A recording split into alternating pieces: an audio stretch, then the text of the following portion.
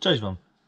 Y, Zawsze mnie prosiliście o to w komentarzach, żebym pokazał Wam, y, jak się szykuje y, na różne gatunki ryb, między innymi właśnie na tego pstrąga czy troć, bo przecież zaczął się głównie na te ryby teraz sezon. Dzisiaj mamy 1 stycznia, jutro 2 stycznia, właśnie od jutra ja zaczynam swój sezon trociowy. No i co? No i muszę się spakować. Tak naprawdę większość rzeczy po kartonach jeszcze nie rozpakowana z racji tego, że miałem dopiero co bardzo, bardzo szybką i nagłą przeprowadzkę ze starego mieszkania na nowy dom. Ech, No bo to jest moje królestwo, tak? Teraz tutaj, jeżeli chodzi o sprzęt wędkarski, z czasem, z pewnością jakieś półeczki, segregacje, e, żeby wszystko było czytelne, przejrzyste pod kątem nawet wypakowania czy szukania. Teraz jest masakra troszeczkę, więc postaram się znaleźć większość tego trociowego sprzętu. E, No i jak już go znajdę, ustawię go w miarę y, w jedno miejsce, spróbuję się jakoś spakować, wam powiedzieć, jakie przynęty zabieram. Oczywiście przynęt jest naprawdę, naprawdę wiele i z pewnością wszystkie mogą złowić i z pewnością wszystkie są dobre, no ale wszystkich wziąć nie można, tak? Ponieważ byśmy, byśmy mieli tego za dużo. No, Ja tak, jeżeli chodzi o, o główne pakowanie, to zawsze mam ze sobą plecak, tak? Yy, o tym plecaku może za chwilę parę słów. Mam plecak, do tego jakieś tam ewentualnie może z dwa pudełka do kieszeni do przemieszczania się, e, więc jakieś ograniczenie e, wielkościowe tego sprzętu jest i coś, coś trzeba zrobić z tą segregacją. Za chwilę Wam pokażę moje przynęty starsze, nowsze, e, trociowe i, i, i jakie lubię, jakie uwielbiam. Oczywiście przynęt jest, mówię, tak jak wcześniej powiedziałem, wiele, czy to wahadłówki, obrotówki, woblery, czy to przynęty gumowe. No, wiem, że wszystkie są dobre. Generalnie na wszystkie próbowałem łowić i łowiłem ryby, ale każdy ma swoje preferencje i każdy ma jakieś swoje ulubione. Już nie chodzi mi o typową przynętę, ale po prostu typ, gatunek przynęt, tak? No ja, ja nie ukrywam, że uwielbiam woblery. Uwielbiam woblery większość swoich ryb złowiłem na woblery. Lubię się bawić tym wo- woblerem, lubię go prowadzić i, i, i większość mojego pudła właśnie wypełniają woblery. No już to, co miałem znaleźć, znalazłem. Trochę to trwało. Yy, zobaczcie, są węteczki. Moje trociowe, cztery węteczki. Oczywiście bazy z przynętami. Kołowroteczki już przejrzane, tutaj przygotowane. Bazy z przynętami i mój plecak. Plecak to jest, on jest zawsze spakowany na troć, sobie leży. Jak przychodzi sezon trociowy albo wyjazd na troć, to plecaczek jest spakowany.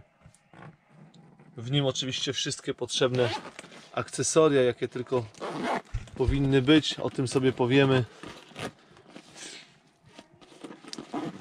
O tym sobie powiemy na innym filmie z cyklu Jak zacząć przygodę z trociami. Yy, oczywiście jak je łowić, ale przede wszystkim jak się przygotować do tego pod kątem ubrań, pod kątem właśnie sprzętu, asortymentu, akcesoriów, pod kątem przynęt yy, i, i, no i jak tego używać oczywiście. Na ten film oczywiście już Was zapraszam. Jak tylko, jak tylko go zmontuję, to go Wam puszczę. Yy, ale przechodzimy do moich przynęt i pakowania, przede wszystkim pakowania. Tutaj już przygotowane kołowroty. Tak naprawdę Yoshida i Harami yy, w rozmiarze największym. Tutaj już sobie przygotowałem też młynki pstrągowe, bo jak już się pakuje yy, na ten sezon nasz wiosenny, styczeń, kwiecień, no to głównie, głównie już szykuję sprzęt trociowy i za chwilę będę szykował sprzęt pstrągowy, żebym już był gotowy. W aucie to wszystko wożę. Czy to na tą, czy to na tą rybę wyskakuje. Zawsze mam wędkę, kołowrotek, parę przynęt. Także tutaj jestem pod tym kątem wtedy y, szybki do spakowania. Ale przechodzimy do przynęt, zobaczcie. To jest taka moja baza, baza takich głównie moich handmade'ów. Kiedyś robiłem troszeczkę dla siebie woblerów. Oczywiście też y, innych handmade'ów, jakichś takich same rękodzieło, większe, mniejsze woblery. Tutaj parę, parę przęt dorado do dołożenia. Zawsze na wyprawie trociowej yy, muszę mieć inwajdera. Oczywiście są jeszcze inne przynęty, na pewno o skołcie za chwilę sobie powiemy. Tutaj kolejna jakaś tam baza z przynętami. Głównie widzicie woblerami, troszeczkę obrotóweczek, jakieś kotwy do zmiany. Yy, kolejna baza jakaś taka do dołożenia. Yy, troszeczkę też jakiś tam przynęt typu, typu Robinson, Strike, yy, trochę obrotówek. Yy, coś tam się znajdzie. No i moja główna baza do łowienia. Yy, Ta baza będzie przygotowana na jutrzejsze ryby i tą bazę zaraz sobie przyszykuję. Oczywiście Muszę ją rozładować, rozpakować. Zobaczę, które przynęty gdzieś tam mi w oko wpadną, y, sobie je zostawię. Y, Ewentualnie jak będę miał jakieś wolne miejsce, to z tych pomocniczych pudeł wtedy tam popatrzę sobie, jak znajdę jakiegoś rodzynka albo coś, co, co pocieszy oko, to, to sobie to dorzucę. Szczerze powiedziawszy, ja tutaj naprawdę nie odkryję dla Was jakichś cudownych przynęt, tak? Jeżeli jest ryba w rzece, to zawsze mamy dużą szansę na jej złowienie i to jest jakby y, główny warunek, tak? Ale oczywiście nawet jak jest jej mniej, tak? To jedni łowią, drudzy nie. Jak jest, jak jest jej dużo, też jedni łowią, drudzy nie. E, e, I niektórzy naprawdę długo, długo się męczą, żeby tą troć złowić, ale myślę, że po tych filmach moich instruktażowych na pewno będzie Wam łatwiej, które, które będę Wam publikował w tym roku. Ale tak naprawdę nie ma jakichś przynęt, które, które, które tą troć złowią. Oczywiście są pewne charakterystyczne cechy danych przynęt, które, które powodują, że one są lepsze, e, łowniejsze, e, e, które mają jakby większą predyspozycję do tego, żeby złowić tą rybę, ale najważniejszy, nie oszukujmy się, jest wędkarz. Wędkarz, jego sposób podejścia do rzeki, podania przynęty, zaprezentowania przynęty rybie. E, I to jest główny, główny, główny warunek y, dostosowania do głębokości, do uciągu, do charakteru, do, do, do różnych wielu czynników. I, i, o tym na pewno będę też starał się Wam opowiedzieć i, i przekazać w dalszych tych filmach instruktażowych, jak łowić zimową troć. Ale nie przedłużam. Dzisiaj pakujemy, dzisiaj sobie oglądacie moje przynęty po prostu z, nie wiem, skompletowane przez, przez 25 lat yy, mojego trociowania. Yy, I tyle, tak? Oczywiście te pudełka ewoluują, tak? Ym, Te przynęty są dane mody, nawet nie chodzi o modę, modę jako modę, tylko modę wędkarza, tak? Ja miałem swoje okresy łowienia na małe, na duże przynęty, yy, bardziej na woblery, bardziej na wahadła, czy tam na gumy, czy na obrotówki, no po prostu oczywiście używam wszystkiego, ale są lata, w których, nie wiem, częściej sięgam po jakąś przynętę. Ewidentnie tutaj można było się odnieść też do, do łowów pstrągowych, gdzie do, przechodziłem okresy naprawdę po kilka lat, o tym pisałem kiedyś w wędkarskim świecie albo w 360 już nie pamiętam, że, że, że, że były lata naprawdę z małymi woblerkami, z dużymi woblerkami, teraz z twitchowymi są e, lata z twitchowymi woblerkami, były lata naprawdę fascynacji gumą, były lata fascynacji obrotówką, także jeżeli ktoś łowi y, dane ryby kilkanaście czy kilkadziesiąt lat, y, to, to nie łowi non stop tak samo i na te same przynęty, to jest chyba naturalne. Nie przedłużam, bo się jak zwykle rozgadałem, to jest mój problem, tak? E, że się potrafię często rozgadać. E, No co, lecimy, lecimy po kolei, otwieramy każdy pudło. Coś tam powiemy sobie o tym pudle, o tych przynętach, które tam są, może jakaś historia mi fajna wpadnie. E, I pomału kompletujemy sobie ten sprzęt na jutrzejszy wypad. I zobaczcie, jest jakieś pierwsze pudło, tak? Jest jakieś pierwsze pudło, a to tak przez przypadeczek, nie żeby specjalnie trafiłem, akurat tutaj trafiłem głównie, a widzicie, na Hoganika, nie? Hogan, przynęta Robinsona, tak? Przynęta uniwersalna. y, Przynęta, tak akurat się zdarzyło, to pudło otworzyłem. Przynęta, która dała mi w tamtym roku pierwszą moją troć. Y, Zobaczymy, czy w tym roku też się uda mi y, złowić na nią, na nią swoją pierwszą troć, tak? Przynęta, mm, na pewno zrobię film poświęcony tej przynęcie, bo jest warta tego, którą można trollingować, łowić z łapy, łowić w Twitchu, można złowić sandacza, szczupaka, okonia, y, między innymi też troć, ale dzisiaj o troci, więc na pewno na troć się nadaje. Y, Ma grzechotkę w środku, no to jest taki rzadkość, tak? Przeważnie przynęty trociowe nie mają grzechotki, nie wiem czy ona pomaga, czy nie pomaga. Ale najważniejszy jest ster, jest w miarę głęboko ustawiony. Widzicie, do osi przynęty, tak? Kurde, jakby to zrobić dla Was, żeby to pokazać? O, może tak. Zobaczcie. To jest oś przynęty, tak? Jest lina, linia. O, tu będzie lepiej jest oś przynęty, linia pozioma woblera i to jest kąt, kąt steru, tak? Czym ten kąt jest bardziej zbliżony do, do linii, linii y, osi przynęty, tym głębszy wobler. Czym bardziej jest prostopadły do linii osi przynęty, tak jak boleniówki na przykład, tak? Czyli pod kątem 90 stopni, tym wobler chodzi płyciej, czyli tam tak naprawdę y, ten ster powoduje, że on po prostu wychyla się odpowiednio i schodzi coraz głębiej w kierunku, kierunku dna, tak? Oczywiście jest dużo, dużo uwarunkowań pod kątem y, oczka, y, od oczka, jak daleko jest tutaj ster, y, pod kątem całej długości przynęty, no jest masę uwarunkowań jeszcze innych takich pochodnych, które też decydują o tym, jak ona głęboko będzie schodziła, jaka tu będzie łopata, jakie jest fajne wcięcie, chociaż to wcięcie też jest tutaj ważne, bo bo, bo po, po, po, potrafi przez to być taki figlarny, lekko kolebiący wobbler, a nie taki sztywny, yy, nieżywy, jak to się mówi, tak? Przynęta, która na pewno, na pewno y, warto mieć w pudełku, y, w takiej dosyć bogatej kolorystyce y, i bar, z bardzo, z bardzo dobrymi kotwami, bo to jest ni niestety problem. Dużo handmade'ów sprzedaje, handmade'owców sprzedaje woblery bez kotwic, a ci co sprzedają z kotwicami często mają kiepskie te kotwice, tak? I trzeba i tak i tak wymieniać, ja je często wymieniam i kółka i kotwice. Tutaj macie już kotwice, które nie wymagają zmiany, w AMC bardzo dobre kotwice i dobre kółka, tak? To mamy taki klasyk, klasyk woblera torciowego, no do głębszego podania, tak? Generalnie widzę, że to jest pudełko z przynętami nie handmade'ami, tylko z takiego rynku y, producentów, tak, y, głównych, takich dużych producentów, tak?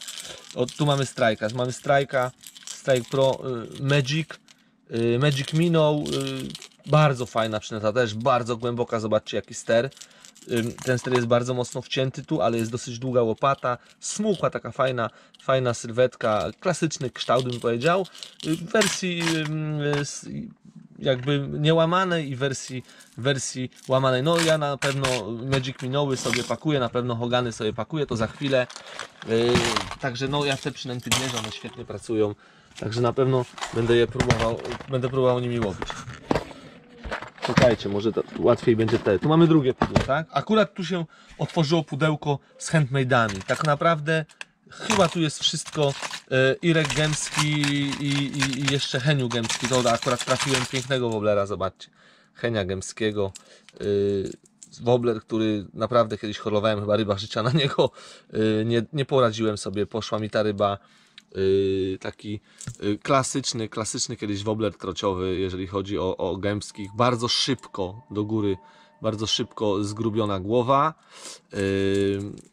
Tutaj też widać bardzo szybkie zgrubienie. Jakby ten najgrubszy punkt to jest punkt, po którym wobler, jakby jego punkt e, taki podparcia, powiedzmy, wobler się będzie jakby w tym miejscu stał, yy, będzie powiedzmy martwy i będzie się resztą wychylał, tak? Jeżeli przesuwamy tą grubość trochę dalej, no to bardziej wchodzimy yy, w taką pracę już to jest wtedy punkt stały, w taką x-ową, teraz taką bardziej na głowie wobler chodzi, tak? Głową chodzi, ładnie się mocno, agresywnie wychyla. Klasyczne woblery handmade'owe, tych przynęt jest naprawdę wiele. Ważne, żeby też były dobrze dociążone, żeby były dobrze zrobione na dobrych drutach i trwałe. No, tutaj mamy już y, z takich nowszych woblerów Irka, oczywiście stare mogą, mogą być szersze, krótsze, mogą być, zobaczcie, ta różnica, dłuższe, tak? Y, Węższe, y, cały prze, przegląd kolorystyczny, tak? Bardzo lubię takie naturalne też przynęty mimo wszystko na, na, na, na kelty, chociaż na pewno bardziej później na srebrniaki, jakieś takie o alapstrongi, róże, y, zielenie, ale widzicie, to są przynęty wszystko handmade, y, bardzo podobne wielkościowo, to są akurat dosyć duże przynęty. Jeżeli przynęta jest za lekka, to ja tam sobie gdzieś tam ją, nie wiem czy tu gdzieś trafię taką przynętę, dowiercam, dokręcam, dociążam, ale to tam na pewno o tym powiem przy woblerach. Y, Generalnie pudełko z przynętami Irka Gębskiego, z handmade'ami, Yy, taka kolorystyka pomarańczowo-zielona. Lecimy dalej. O, tu już mamy przynęty, tu już mamy przynęty takie trochę inne przebrane. O, tu znowu Heniu. Zobaczcie, to jest też znowu Heniu Gębski, bardzo stary wobler. Jeszcze w pokoście, pokoście moczony, żeby dociążyć bez ołowiu. Kolejna wisienka, bardzo fajny kolor w ogóle. Yy, bardzo lubią kelty, trocie, takie kolory wiśniowe. Yy, Polecam Wam takie kolory. Oczywiście lubią takie właśnie też paski, yy, czyli taki okoń malowany, ale bardzo fajnie, jak ten okoń jest tak mocno namalowany do dołu, jak one są takie charakterystyczne. Też świetna przynęta.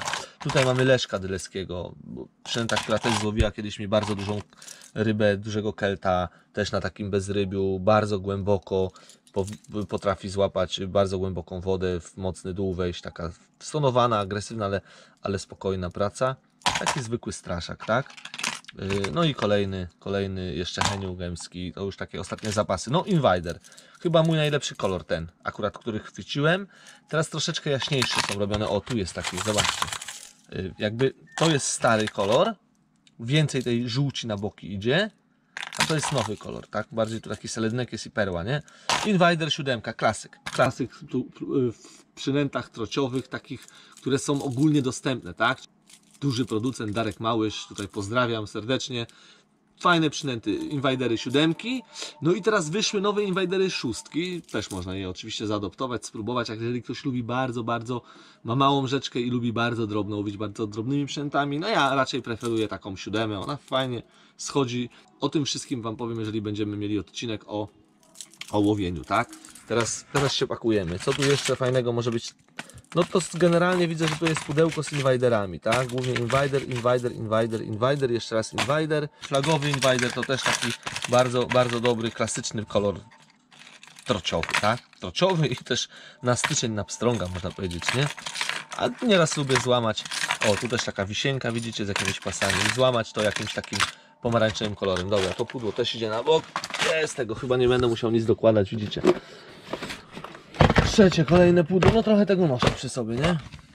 I tutaj mamy znowu głównie handmade'y, widzę głównie też jest tutaj Irek, no z racji tego, że to jest nasz y, rodzimy producent, tak, daleko do niego nie ma, każdy gdzieś tam ma swojego producenta gdzieś blisko siebie, więc, więc na pewno najczęściej łowi się na przynęty gdzieś, kto z boku, gdzieś tam z kolegów, znajomych tam y, jest druga i, i, i, i robi i można można w łatwy sposób się nimi zaopatrzyć. Także tutaj mamy też Irka, ale zobaczcie, y, może tak, po pierwsze już troszeczkę dużo takiej kolorystyki stonowanej, ale przynęty dużo mniejsze. To by trzeba było porównać z tymi przynętami, które tu wcześniej miałem. Zobaczcie, to była taka klasyczna przynęta, co miałem w tamtym pudełku, a zobaczcie, to są wszystko mniejsze przynęty. To są przynęty, które są mniejsze o jakiś tam centymetr, ale, ale tak, centymetr na długości, ale i na grubości, i na wysokości, na wszystkim, tak? I to powoduje, że ta przynęta jest dużo, dużo mniejsza, dużo delikatniejsza, dużo płciej przeważnie chodzi, te sterki są troszeczkę krótsze, czyli tu mamy przynęty mniejsze, tak? Tu mamy na przykład wobbler Sambora, pojedyncze, pojedyncze mam Sambory, pojedyncze mam jakieś tam górale. Tu jest ciekawy wo- wobbler. Yy, To taki podobny wobbler trochę do Glo- Glocka też, o też fajna firma, też robi trochę przynęt, taki srebrniakowy, ale bardzo mi się sprawdził na keltach. Yy, Te malowanie właśnie, widzicie takie powiedzmy ala pstrąg tęczowy malowanie, bardzo stonowany kolor, nie jakiś tam żarówiasty yy, kolor, tylko właśnie bardzo stonowany, krótki, bardzo głęboki ster, ale bardzo duża głowa, o, takie strasznie agresywne, filigranowe w pracy są te woblery. Czyli krótki, ale bardzo gruby wobler, tak? Tutaj to, samo, tak? Czyli taki ala tęczaczek, bardzo krótki, gruby kolorek. O, tu też przynęta, która dała mi kiedyś taką rybę, też ponad 8 dych, piękną rybę. Y, Zobaczcie, praktycznie można by było powiedzieć, że taka większa pstrągóweczka, tak? Mocno przycięta, delikatny, delikatny sterek. Y, Świetny też taki kolorek, lubię takie kolorki, właśnie te pasy do dołu, y, taka, taki miodzik bym powiedział, tak? Y, No troszkę płyciej przez to chodzący, na przykład na taką płytką inę, nie? Się nadają takie. Tu też mamy taki kolor naturalny, bardzo troszeczkę brązu, miodu. No oczywiście gdzieś tam tego agresywnego woblera też mam. Zielenie, które bardzo często się sprawdzają z takim żółtym, też ciekawy kolor. O, to też taki bardzo fajny kolor. Takiego hiciora może Wam pokażę. Tu o, chyba mam. O, widzicie, z takim właśnie, o tu, bardziej taki, taki, taki zielono-żółty. Fajne półksiężyce, perła, żółte od spodu. To też sporo, sporo ryb łowiło. No i mój, jak nie wiem co założyć, to zakładam takiego po, stonowanego pomarańczaka z tymi ciemnymi, czarnymi plamami spod spodu, ala tam potok taki powiedzmy malowany tam za, za, za, zapryskany taki grz- grzbiet czarny świetny kolor, dużo ryb, dużo, dużo, naprawdę dużo ryb mi dał ten kolor no i teraz przechodzimy, no to takie były mniejsze, teraz handmade, widzicie, duże handmade, mniejsze handmade, troszeczkę yy, takich yy, przynęt ogólnie dostępnych wielkich producentów. O, co my tu mamy, co my tu mamy? Yy, no tu mamy znowu Dorado. Na płytką wodę, szybszą wodę, bardzo też fajny wobbler. Lubię ściągnąć po skoucika. Tu też jest skoucik. A to jest chyba wobbler Ina, jak się nie mylę w nazwie. To też jest z Dorado wobbler. Takich w tamtym roku dużo na niego łowiłem. Yy, taki też właśnie troszkę płytszy, ale klasyczny, widzicie, baryłkowaty, ba, baryłkowaty wobbler. Yy, o może bym musiał odwrócić, więc, więc to olejemy. Także tu są takie, o, tu też znowu skołcik, tu też znowu skołcik, także tu są skołciki i iny. Także tu sobie jeszcze drugą stronę otworzymy. Z drugiej strony, z drugiej strony. A tu mam jakieś tam prototypy, widzicie, o jakiś taki ciekawy wobbler, Z- zobaczymy jak to będzie chodziło. Prototypowe jakieś tam wobblerki. y, też jakieś tam skołcik. Czyli generalnie, y, generalnie mamy tutaj Dorado Skołta y, i Dorado Inne. No i tu pudło, pudło z wszędobylskimi blachami, no bo przecież blachę też trzeba mieć, tak? Czyli tak naprawdę już woblery się skończyły. Y, Teraz będą obrotuły, wa- wahadówki. y, No jeszcze można by troszkę gumek popakować. Zaraz zobaczę, może gdzieś poszukam parę jakichś twistów, chociaż ja tak nie lubię na tą gumę. Dużo pstrągów kiedyś łowiłem na gumę. Wiem, że łowią te trocie też na tą gumę, ale ja lubię tego woblera. Y, Może w późniejszym terminie sobie gdzieś tam znajdę trochę tych twisterów. Gdzieś tam parę główeczek wrzucę typu 8 tam 15 gram i może poczeszę troszeczkę też terynny gumą. Yy, zaraz zobaczymy, może w tym moim burdelku coś tutaj znajdę, albo gdzieś mam z boku, ale chyba nie, chyba nie miałem popakowanych gum, bo to też już było takie, już tam chyba na letnie łowienie, już w ogóle ich nie zabierałem. Ale zobaczcie, no to są moje obrotówy, no, no klasyczne obrotówy tutaj akurat Robinsona, y, skrzydełka, skrzydełka typu long, y, fajnie pomalowane, polakierowane, nic się z tym nie dzieje. Y, Także na pewno, na pewno tego typu przynęty y, trzeba używać. No, możecie używać obrotówek, o tu są akurat też takie Robinsona obrotóweczki, y, jakiś tigerek, tak, taki nietypowy kształt y, listka, taki ni to, ni to, ni to mm, komet, ni to long, taki coś pomiędzy, tak? Ale fajnie pracująca przynęta, yy, startująca tak praktycznie od, od wpadnięcia do wody. No i tu klasyczna też Pantera yy, Robinsona, czyli zwykły, zwykły, zwykły yy, long. To nie są jakieś tam super dociążone przynęty, specjalnie robione na trociowe wody. Klasyczne przynęty, takie szczupakowe, które można zaadoptować do takiego łowienia, tak? Tutaj mamy weltiki, tak? To troszeczkę cięższe weltiki z takim skrzydełkiem. Dużo używałem kiedyś weltik, szczególnie na, na letnią troć, bardzo fajna obrotówa, też dobrze pracująca, srebrna. Yy, o, tutaj jest srebrna, tutaj jest taka o przytłumiona czarno-czerwonymi pasami. To są, to są przeze mnie przeszlifowane HRT obrotówki, takie troszkę cięższe, fajne, duża kotwa. Ym, po prostu ściągam często to, to, to, to, to pazłotko takie, co jest naklejone. Jeszcze widzicie, tutaj sobie zeszlifowywałem tą warstwę srebrną, żeby zrobić miedzianą bądź mosiężną, zależy co pod spodem. Yy, robiłem inny kolor i ewentualnie to lekko zalakieruję i już jest inna obrotóweczka, tak. No i nieśmiertelny MEPS. Tutaj z tym czerwono-żółtym korpusem też sporo ryb na niego złowiłem i sporo ryb na niego wyjeżdża, tak, u wszystkich, u wszystkich wędkarzy. Yy, No jakieś wahadełka, no to są wahadełka przeze mnie klepane, czy to wąskie. Yy, yy, yy. O, o, zobaczcie, to jest też dobra obrotówka, też troszeczkę ryb na to złowiłem. To jest obrotówka rodem z Poznania. Wrta, czwóreczka.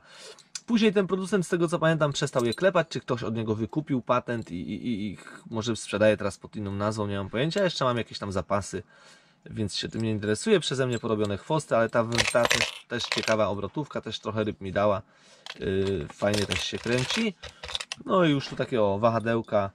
Ja już nawet nieraz nie pamiętam, yy, kogo są te wahadła. Jak wiecie, to tam napiszcie w komentarzu RM. RM tu są inicjały, mam trochę tych wahadeł, też fajnie chodzą, taki wolny, kolebiący ruch lewo-prawo, no ale ja już potem nie, nie że tak powiem, nie, nie, nie mm, łowiłem na te rodzime wahadła, te RM właśnie mi jeszcze tylko zostały. Czekajcie, to może to zamknę, bo to zaraz tutaj mi wypadnie całkiem wszystko.